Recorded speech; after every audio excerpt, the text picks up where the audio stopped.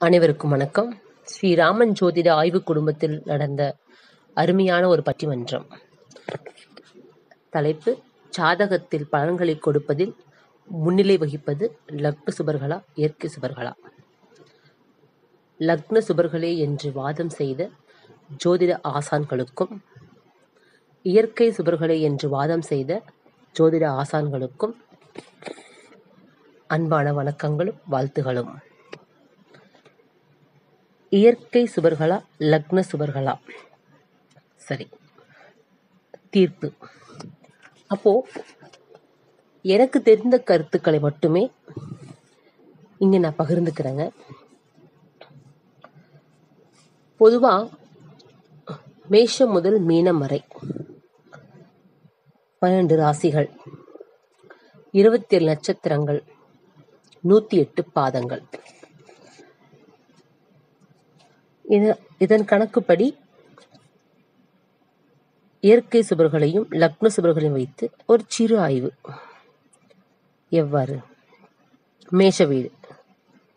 இப்போ இந்த மேஷ வீட்டில் பார்த்தீங்கன்னா அஸ்வினி பரணி கிருத்திகை முதல் பாதம். அப்போ ஒன்பது நட்சத்திர பாதங்கள் இருக்கு. இந்த மேஷ வீட்டுக்கு சுபர்கள் எடுத்தீங்க அப்படின்னா அஞ்சு ஒன்பது மட்டும் எடுத்துக்குவோம். ஏன்னு கேட்டிங்கன்னா சூரிய பகவான் அஞ்சுக்குரியவர். மேஷ வீட்டில் உச்சம் அடைகிறார் ஒன்பதாம் அதிபதியான பாக்யாதிபதி. அவர் வந்து பாத்தீங்கன்னா இந்த வீட்டு நட்பு கிரகமும் சுப கிரகமும் கூட. சரி. இப்போ இயற்கை சுபர்கள் எடுத்தீங்க அப்படின்னா வளபுரை சந்திரனையும் பாவிகளோடு சேராத புதன். நம்ம வந்து கணக்கு எடுத்தோம்னா ரொம்ப டீப்பா ஆய்வு போகும். அது ரொம்ப லேட் ஆகும். அது பலன்கள் ஒவ்வொன்றுக்கும் ஒவ்வொன்றுக்கும் மாறி வரும். அதனால நம்ம குரு பகவானையும் சுக்கர பகவானை மட்டும் எடுத்துக்கலாம். சரிங்களா? அப்போ இந்த பன்னெண்டு லக்னத்துக்கும் அஞ்சு ஒன்பது அதிபதிகள் இயற்கை சுபர்களை மட்டும் வச்சு ஒரு விளக்கத்தை பார்க்கலாம். சரிங்களா? அப்ப இந்த மேஷ வீட்டில் உங்களுக்கு அஞ்சு ஒன்பது கிரகங்கள் சூரிய பகவானும் குரு பகவானும். சரி. இந்த மேஷ வீட்டில் வந்து பாத்தீங்கன்னா அஸ்வினி பரணி கிருத்திகை முதல் பாதம் வரைக்கும் இருக்கு. அப்ப கிருத்திகை முதல் பாதம்ங்கிறது சூரிய பகவான் நட்சத்திரம். அப்ப குடிய நட்சத்திரம் அங்க வந்து முதல் பாதமா தனுசு மண்டலத்துல அந்த வீட்டில் வந்து நிற்கும் இல்லைங்களா? அந்த சாரம். அப்ப இங்க அஞ்சு ஒன்பதோட கனெக்டிவிட்டி வருது. ஓகே அதே போல அதே போல ரெண்டு ஏழுக்குரிய சுக்கர பகவான் சாரமும் வந்துருது. ஸோ இந்த மேஷ வீட்டை பொறுத்தளவுக்கு பார்த்தீங்க அப்படின்னா நட்சத்திரம் அப்படிங்கும்போது இரண்டு ஏழும் அஞ்சு கூடிய நட்சத்திரமும் இருக்கு. அந்த வீடு எங்க வருதுன்னா கரெக்டா ஒன்பதாம் வீட்லயே வந்து அந்த நட்சத்திர பாதமும் இருக்கு. சரி. அப்போ இந்த குரு பகவானால் இந்த மேஷத்துக்கு அடக்கும் நன்மை என்னன்னு கேட்டீங்கன்னா காலபுருஷ அடிப்படையில அவர் நாலாவது வீட்டில் வந்து பாத்தீங்கன்னா உச்சம் அடைஞ்சிடுறார். அது ஒரு சிறப்பு. சரிங்களா? பூமிகாரகன் செவ்வாய் பகவான் ஆகி நாலாம் இடத்துல குரு பகவான் உச்சம் அடைகிறார் பாக்யாதிபதி. அதனால தான் பார்த்தீங்கன்னு வச்சுக்கோங்க அதிகமான வீடு வாடகை விடுறதும் அதே மாதிரி சில பேர்த்துக்கு வீடு அமையாமல் இருக்கிறதும் அதிகமா அமைகிறது நாலாம் இடத்தோட இடம் பேசும். வாடகை வீட்டில் குடியிருக்கிறது வந்து பார்த்தீங்கன்னா பன்னெண்டாம் இடத்தை பேசும் குரு பகவானோட வீடு. சரிங்களா? ஸோ இந்த ஒரு சுப பலன் கிடைக்குது அவருக்கு. அப்போ அந்த சுக்கர பகவான் எடுத்தீங்கன்னா இரண்டு ஏழுக்கு அதிபதி ஆகிறாரு ஆனால் இரண்டாம் வீட்டுக்கு அந்த நட்சத்திரமாகப்பட்ட இரண்டாம் வீடான ரிஷபத்துக்கு மேஷம் பன்னெண்டாம் இடத்துல மறையுது. சரிங்களா? சரி. அப்ப ஏழாம் வீட்டுக்கு நேர் ஏழு. எப்பவுமே ஏழுக்கு ஏழு வந்து நிவர்த்தி ஸ்தானம்னு பெயருங்க. சரிங்களா? நிவர்த்தி ஸ்தானம் அப்ப இந்த மேஷ வீட்டுக்கு சுக்கிர பகவான் நட்சத்திரம் முழுமையான நன்மை தருது. ஆனா சுக்கிர பகவான் பன்னெண்டாம் இடத்துல உச்சமாயிடுறார். இந்த மேஷத்துக்கு பன்னெண்டாம் இடத்துல உச்சமாகிறார். ஆறாம் இடத்துல நீசமாயிடுறார் சரிங்களா? அதனால இந்த இடத்துல வந்து சுக்கர பகவான முழுமையான சுப கிரகமா நம்ம எடுத்துக்க முடியும். ஒரு கிரகம் சுப ஆதிபத்திய பலனை கொடுக்கணும் அப்படின்னா அது கரெக்டா வந்து கேந்திர ஸ்தானத்துல திரிகோண ஸ்தானத்துல வந்து உட்கார்ந்து இல்ல அந்த பா- கட்டத்தை பார்க்கும்போது தான் உங்களுக்கு அது பலனை கொடுக்கும். அப்ப இரண்டு ஏழு சாரம் அந்த வீட்டுக்குள்ள இருந்தாலும் சுக்கர பகவானால் நன்மை எவ்வாறுன்னு கேட்டீங்க அப்படின்னா அவர் ஆறாம் இடத்துல நீச்சமாகிறாரு பன்னெண்டாம் இடத்துல உச்சமாயிடுறாரு அப்போ ரெண்டாவது வீட்டுக்கு பன்னெண்டாவது வீட்டுல மேஷம் வந்து உட்கார்ந்து ஏழாம் வீடான சுக்கிர பகவான் வீட்டுல வந்து பாத்தீங்க அப்படின்னா துலாம் வீடு. நேர் ஏழாம் வீடா இருக்கு. ஸோ அஞ்சு பிளஸ் ஏழு பிளஸ் ஒன்பது. இந்த மூணு வீடு மட்டும்தான் இங்க சுபத்தன்மை பெறுது. ஆனா இதே செவ்வாய் பகவான் அந்த வீட்டுக்கு சொந்தக்காரர். அவர் கடகத்துல வந்து நீஷம் அடைஞ்சிடுறார். சரிங்களா? சரி. சரி இன்னொரு விஷயம் சொல்றேங்க. எந்த ஒரு கிரகம் ஆட்சி பெற்றாலும் உச்சமானாலும் நீச்சமானாலும் அதனோட டிகிரி வைஸ் ரொம்ப முக்கியம். அந்த டிகிரி வைஸ் பார்த்து தான் நம்ம அது நீச்ச பலமா உச்ச பலமா ஆட்சி பலமான்னு கண்டிப்பாக நம்ம பார்க்கணும். நான் ஒவ்வொரு மேடைகள்லையும் கண்டிப்பாக சொல்லுவேன் நான். ஒரு கிரகம் முழுமையான உச்ச பலத்தையும் பெறாது நீச்ச பலத்தையும் பெறாது ஆட்சி பலத்தையும் பெறாது. நாம் அங்க பாத்துக்கணும் அதே போல சூரிய பகவான் ஐந்தாம் அதிபதியா இருந்தாலும் தனக்கு ஒன்பதாம் இடத்துல வந்து அவங்க உச்ச பலமாகிறார் சரிங்களா? அவங்க உச்சபலம். பரணி மூணாம் பாதத்துல சூரிய பகவான் நீச்சம் அடைகிறாரு அதே பரணி மூணாம் பாதத்துல சனி பகவான் உச்சம் அடைவார். சரி அப்போ அஞ்சக்கூடியவர் ஏழாம் இடத்தில் வந்தால் இல்லற வாழ்வு சிறப்பு இருக்காதுன்னு சொல்லி ஒரு ஒரு மு- பழமொழி ஒன்று பார்த்து பார்த்துருப்போம் அடிக்கடி சொல்லுவோம். எல்லா லக்ன ராசிக்கும் அது பொருந்தாது. மேச ராசிக்கு மட்டுமே இது பொருந்தும். ஏன்னா அஞ்சாம் அதிபதி அப்படிங்கிறது சூரிய பகவான். ஏழாம் வீடான கால புருஷ அடிப்படையில் களத்தர ஸ்தானத்தில் நீஷம் அடைகிறார். அதனால மேஷ வீட்டுக்கு மட்டுமே இந்த ஐந்து கொடியவர் ஏழாம் இடத்தில் இருந்தால் இல்லற வாழ்வு சிறப்பு இருக்காதுன்னு நம்ம சொல்லணும். சரிங்களா? சரி அடுத்த விஷயம் பார்த்தீங்கன்னா இப்போ ரிஷபத்துக்கு வருவோம்.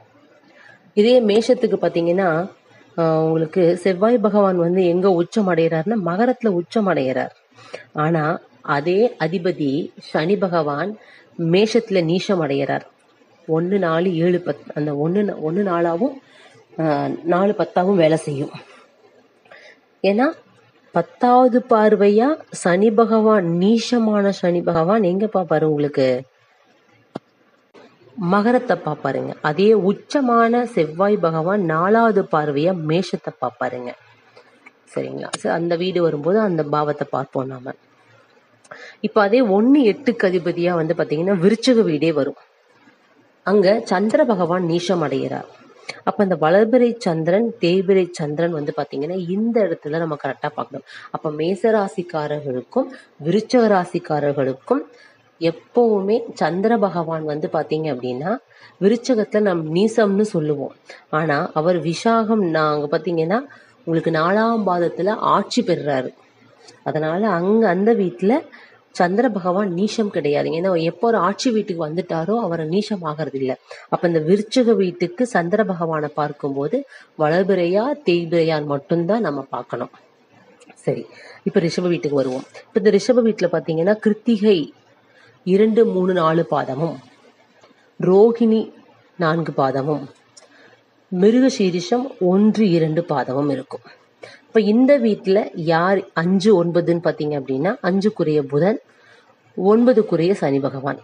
அப்போ ஒன்பதாம் இடமே இங்க பாதகஸ்தானமாகவும் வேலை செய்யும். ஆனா இங்க இரண்டு அஞ்சுக்குரிய புதன் மட்டும்தான் யோகாதிபதியா வராரு. சரிங்களா? அப்ப இரண்டுக்குரிய அஞ்சுக்குரிய புதன் மட்டுமே யோகாதிபதி. ஆனா அவர் நட்சத்திர பாதங்கள் அந்த வீட்டுல இருக்கான்னு கேட்டீங்கன்னா இல்ல. சரிங்களா? அப்போ ஒன்பதாம் அதிபதியான சனி பகவான். அந்த வீட்டுக்குண்டான விஷயமும் அந்த ஏன்னா அவர் ஒன்பது பத்துக்குரியவர் தான் ஆனா தர்ம கர்மாதிபதி யோகம் அப்படிங்கிறது ரிஷப லக்னத்துக்கு கிடையாதுங்க. ரிஷப லக்னத்துக்கு அந்த யோகம் கிடையாது. என்னோட சேனல்ல நான் போட்டிருக்கேன். தர்ம கர்மாதிபதி யோகம் யாருக்கெல்லாம் எப்படி கிடைக்கும் சொல்லி ஒரு மேஷம் வீட்டில் இருந்து பார்த்தீங்கன்னா மீனம் வரைக்கும் முழுமையான ஆய்வு எடுத்து என் அறிவுக்கு எட்டிய வரை நான் கொடுத்துருக்கேன். நேரம் இருக்கவங்க தவறாம பாருங்க. சரி. இப்போ கேந்திராதிபதியான அதாவது நாலாம் அதிபதியான சூரிய பகவான் நட்சத்திரம் வந்து பாத்தீங்கன்னா இரண்டாம் பாதம் மூணாம் பாதம் நான்காம் பாதம் இருக்கு. அப்போ அந்த வீடு எங்க ஆரம்பிக்குதுன்னு கேட்டீங்க அப்படின்னா மகர வீட்டுல இருந்து ஆரம்பிக்கும். அப்போ மேஷ வீட்டுல ஒன்பதாம் இடமோட முடிஞ்சுது. அப்ப பத்து பதினொன்னு பன்னெண்டுங்கிற வீடு அந்த வீட்டுல இயங்காது. ஒவ்வொரு வீட்டுல பாத்தீங்கன்னாலுமே கூட முழுமையா பன்னெண்டு பாவம் இயங்காதுங்க. பன்னெண்டு பாவம் முழுமையா எந்த வீட்லயுமே இயங்காது. அப்ப எந்த வீட் நட்சத்திர பாதங்கள் வந்து உட்கார்லையோ அந்த பாவங்களுக்காக அந்த ராசி காரகம் போராடும். அப்ப மேஷத்துக்கு பத்து பதினொன்னு பன்னெண்டு நல்ல வேலை. லாபம் நிம்மதியான உறக்கம் தாம்பத்திய உறவு விஷயம். அங்க பாத்தீங்கன்னா ஏதாவது ஒண்ணு குறையா இருக்கும். அப்ப ரிஷபத்துக்கு எடுத்தீங்கன்னா இங்கதான் ஸ்டார்ட் ஆகுது. பத்தாம் இடம் பதினொன்னுல இருந்தா முதல் பாவமே ஸ்டார்ட் ஆகுது. அப்போ அங்க வருமானம் அப்படிங்கிறது நல்ல சிறப்பான தொழில். சரிங்களா? லாபம். அங்க வந்து பத்தா வேலை செய்யுது பதினொன்னா வேலை செய்யுது. ஒன்பது பத்து வந்து பாத்தீங்கன்னா காலபுருஷனுக்கு பத்து பதினொன்னா வேலை செய்யுது. அப்ப பன்னெண்டாம் இடம் வந்து பாத்தீங்கன்னு வச்சுக்கோங்க உங்களுக்கு மேஷமா வந்துடும் சரிங்களா? அப்போ மீனமாக மீனமா வரும். சரிங்களா? சோ ஒவ்வொரு வீட்லேயும் எந்தெந்த நட்சத்திர பாதங்கள் போய் உட்காரலையோ அந்த வீட்டு காரகத்துக்காக அந்த ராசிகள் போராடும். நீங்க எந்த ராசியா வேணா எடுத்துக்கலாம். நீங்க எப்படி வேணா எடுத்துக்கலாம். சரிங்களா? அப்ப மேஷத்துக்கு வந்து பாத்தீங்கன்னா பத்து பதினொன்னு பன்னெண்டு அந்த பாவம் சிறப்பை கொடுக்காது. ஆனா ரிஷபத்துக்கு பாத்தீங்கன்னா பத்து பதினொன்னு பன்னெண்டுல இருந்து தான் ஆரம்பிக்கும். அதனாலதான் தன ஜனஸ்தானம் வச்சிருக்காங்க அதுக்கு பெயர். சரிங்களா? ஒன்பதாம் இடத்துக்கு அது பூர்வ புண்ணியம் வருது இல்லைங்களா? லாபஸ்தானத்துக்கு அது வந்து பாத்தீங்கன்னா சுகஸ்தானமா வரும். சரிங்களா? சோ அதே போல இந்த கணக்கு எடுத்துக்கலாம். அப்போ அந்த வீட் நட்சத்திர பாதங்கள் பாத்தீங்கன்னா சூரிய பகவான் சந்திர பகவான் செவ்வாய் பகவானா இருக்காங்க. அப்ப சூரிய பகவான் நாளுக்குரியவர். சந்திர பகவான் வந்து முயற்சி ஸ்தானாதிபதி. இவரு பாத்தீங்கன்னா ஏழு பன்னெண்டுக்குரியவர் இந்த அமைப்புல தான் நம்ம அந்த வீட்டை பாக்குறோம் அப்ப இந்த ரிஷப வீட்டுக்கு பாத்தீங்க அப்படின்னா அஞ்சு ஒன்பதுக்குரிய கிரகங்கள் எடுத்தீங்கன்னா புதன் பகவான் நன்மை செய்வார். ஆனா ஒன்பதாம் இடம் வந்து பாத்தீங்கன்னா அதே பாதகஸ்தானமா வரதுனாலையும் சனி பகவான் தனக்கு பன்னெண்டாம் இடத்துல நீசமாகறதுனாலையும் தனக்கு ஆறாம் இடத்துல உச்சமாகறதுனாலையும் இந்த ரிஷபத்துக்கு சனி பகவானால் நன்மைகள் அவ்வளவா கிடையாதுங்க. இப்ப மிதுன வீடு. மிதுனத்துல பாத்தீங்கன்னா மிருகசீரிஷம் மூணு நாலு. ராகுவோட நட்சத்திரம் திருவாதிரை நாலு பாதம். புனர்பூஷம் பாத்தீங்கன்னா ஒன்னு ரெண்டு மூணு. சோ இந்த வீட்டில் பாத்தீங்கன்னா மிருகசீரிஷம்னா செவ்வாயோடது. அப்ப மிதுனத்துக்கு செவ்வாய் பகவான் ஜென்ம பகை. அப்ப ராகு வந்து எடுத்தீங்கன்னு வச்சுக்கோங்க. அந்த இடத்துல வந்து தன்னோட சு முழுமையா புதன் ராகு தான் இயங்குவாங்க. கும்பத்துல பாத்தீங்கன்னா சனி ராகு தான் இயங்குவாங்க. ஏன்னா தன்னோட ஆட்சி பலம் வீடு வந்து புதன் பகவானுடையது. அங்க எந்த கிரகம் உச்சமடைகிறது கிடையாதுங்க. அப்ப இந்த புதன் பிளஸ் ராகுவா தான் அங்க இயங்குவாங்க. அந்த திருவாதிரை நட்சத்திரம் முழுசா இயங்குறதுனால அங்க ராகு இயங்குறார். அதே போல பாத்தீங்கன்னா இந்த மூணு நாலு சாரம் வந்து செவ்வாயோட வரனாலையும் மிதுனத்துக்கு ரெண்டாவது வீட்லயே அவர் வந்து பாத்தீங்கன்னா என்னாகிறாரு? நீஷம் அடைஞ்சிடுறாரு. அப்ப நட்சத்திர பாதங்கள் வாரியா பாத்தீங்க அப்படின்னா செவ்வாய் பகவான் பகையாயிடுறாரு.